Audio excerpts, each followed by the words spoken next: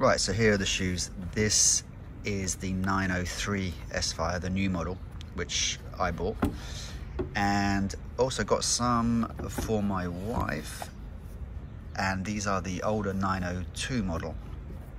But to be honest, the differences are extremely small. The boas appear to be the same.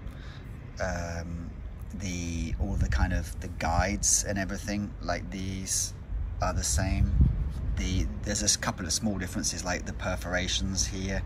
The way it's laced around here is a little bit different and now it runs through two things like this and then there was a little plastic thing before there. Um, if you look at the soles they appear to be pretty much identical. There's not a lot of difference there. And the toe bumper um, is the same. So you know these were low 200s euros in the sale and these were low 300s so really i mean um, yeah there's a little bit of difference in the material they're using here. This actually looks a bit softer. Maybe it was wearing more and they've changed it for a slightly slightly tougher version like this. But you know if you can save 100 euros i think i'd probably do that next time because there's there's no great uh, advance going on here. You you can see you know spot the difference there isn't any really. Um, and so, you know, I've now um, been riding these for over a month. And what's good is that it's given me the chance to kind of uh, have a bit of a long-term review on these and a bit of bit of long-term feedback because it's easy to jump in them first ride and say, oh yeah, they feel great. But it's when riding for more than two hours that these were, although good at first, were starting to feel a little bit uncomfortable, and I was getting hot spots down the side here and are kind of around the toes which is strange because these are actually uh, the wide these are 41 wide. Uh, these are 38s normal. Um, so it seems strange. I mean i don't think i've got especially wide feet but it feels like there's not enough room around this this area here. Um, and I was getting the same problem on, on the S-Works actually. That's why I changed because I was just trying to find the best comfort of all for three hour plus rides. And I thought it was a little bit the heat and everything, but I was in, even in the winter I was getting some. So this is just an attempt to find that extra bit of comfort. And actually what I did was I tried to ride them without the the insoles in to see if that would make much of a difference and it does give you more wiggle room because these insoles they're fairly they're fairly thick. Um, but the trouble is, you know, you ride without the insoles and it's it's quite hard and basic in there. It's not particularly comfortable.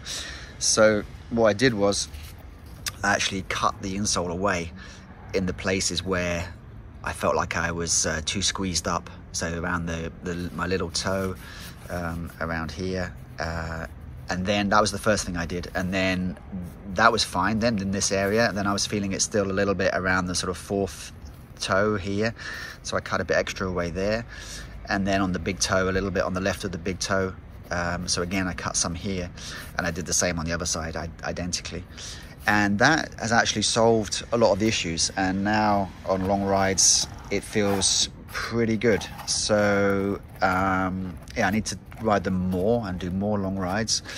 But uh, so far that seems that seems good, and you know they're very nice high quality shoes. They're a teeny bit heavier than the S-Works, but nothing to worry about. Okay, so let's just do the weigh-in. The S-Works 8 with worn cleats, 246. And the S-Phyre 903 without cleats, 223 all the bolts 240 238 and with the cleat 255 so yeah 9 9 10 grams heavier. Nothing too bad. Um, close enough but no cigar I like the fact that uh, you can get in and out of them quite easily because this all comes apart quite easily and so you've got a lot of room to you know get your foot in these these boas they're the pop pop up ones so when you want to just you know get out you just pop them up like that it's nice and easy and then they uh, dial them in to tighten them they're very stiff. Obviously, you know all of the all of these high-end high end shoes are perfectly stiff enough. There's nothing nothing to worry about there. The heel retention is good, just like the S-Works. They've got a fairly high heel, so it keeps your heel from moving up and down, which is quite important, I think. And you can tighten them up as, as much as you like. You know, there's uh, plenty of uh, tightness available if you want to go super tight. I tend to not go crazy on this one, uh, just as not to compress the toes too much, and then tighten this one down a lot more. Um, so yeah, I mean, and and my wife actually had the similar sort of issues, and she swapped the insoles for her old Sidi ones, which are a lot thinner. So she's now got a little bit more room in there as well. But she's she's happy with these. A lot lighter than her entry level Sidis that she had by by about 100 grams so a big difference it feels like you know the Sidis feels like having a lump of concrete on your foot and these uh, are way lighter so she's happy with those I'm happy with these.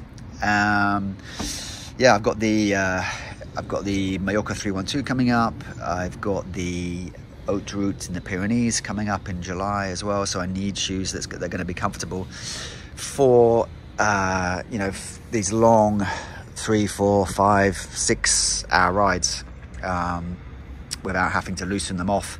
Because when you do loosen them off to ease the, the pain on your toes, then the foot can move backwards and forwards and they get slammed on all the bumps. And that's how I lost my, uh, my two big toe nails last uh, Mallorca 312. Anyway, so it's a lovely day. Uh, it's time to go out for a ride, I think.